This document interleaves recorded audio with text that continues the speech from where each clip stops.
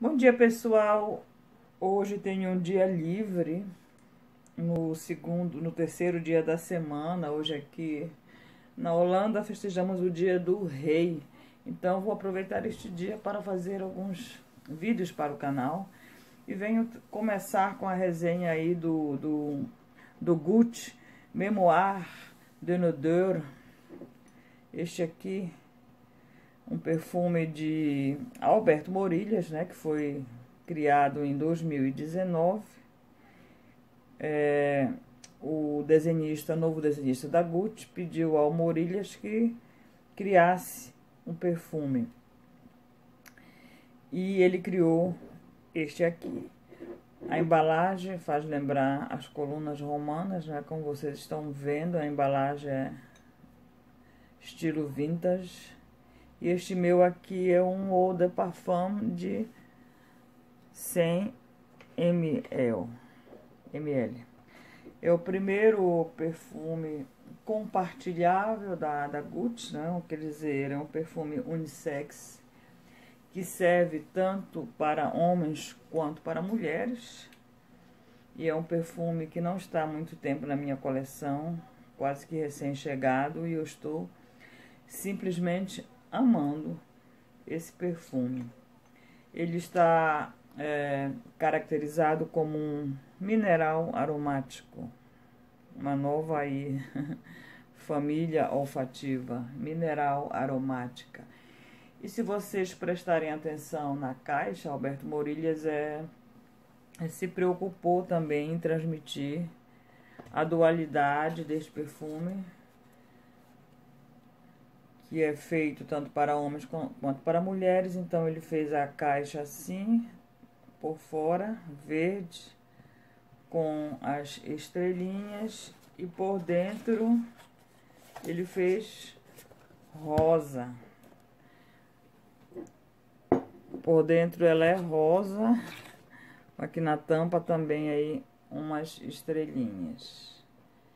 Então ele se preocupou também com esse detalhe em dualizar a cor da caixa. Esse perfume eu estou simplesmente amando conhecer. Estou encantada com ele. Ele é, sinto nele bastante camomila, que é uma, uma erva, todo mundo conhece a camomila, né? O chá de camomila para, para acalmar, também muito usado nos perfumes infantis. E ele tem no topo, ele tem a camomila e a amêndoa amarga. No coração tem o almíscar, o jasmim indiano e o jasmim. No fundo, ele tem o sândalo, o cedro e a baunilha. Na minha opinião, bem amadeirado, é limpo e também não é doce. Apesar de ter a baunilha, a baunilha não não é, faz com que esse perfume fique doce. Eu considero ele até amargo. Fora do comum, das coisas que a gente vê por aí. Muito diferente, é muito sóbrio, elegante, delicado, verde. É um perfume que ele não é aqueles perfumes de exalar muito, ele fica bem rente à pele. Agora, aquele que usa sente o conforto e e aquele aroma delicioso da camomila que esse perfume oferece.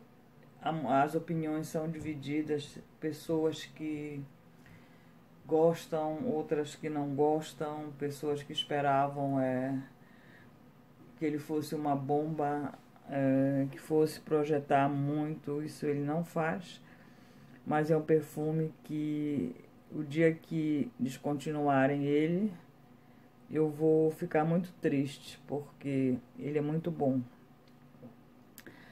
Agora, se você quiser é, comprar, já que ele é assim tão dividido em opiniões, eu aconselho que você primeiro compre um decante, né, um, um frasco menor para experimentar se realmente você gosta e depois comprar.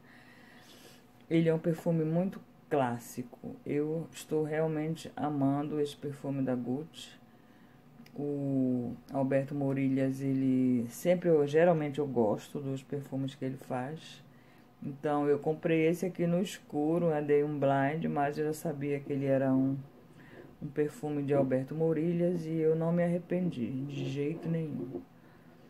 E alguns dizem que sentem o cheiro de cenoura dentro. Eu não cheguei a sentir ainda, eu não conheço nenhum perfume com cenoura, não que eu me recorde nesse momento. Mas sim a camomila. A camomila e o almíscar eu sinto bastante. E ele também tem o sândalo no fundo, né? O sândalo que é uma nota que eu também gosto muito. Então esse é, essa é a minha resenha sobre o Gucci Memoir de Nodeur, um perfume que me conquistou e eu quis compartilhar hoje ele com vocês. Pretendo fazer mais vídeos hoje. Vamos ver, né? Tenho outras coisas para fazer, mas em todo caso eu já tenho este pronto, que é um perfume maravilhoso do, do Alberto Morilas para a Casa Gucci, fabricado em 2019. E o primeiro compartilhado, não é? Então, pessoal, esta é a minha resenha. Fiquem todos com Deus e até o próximo vídeo. Bye, bye.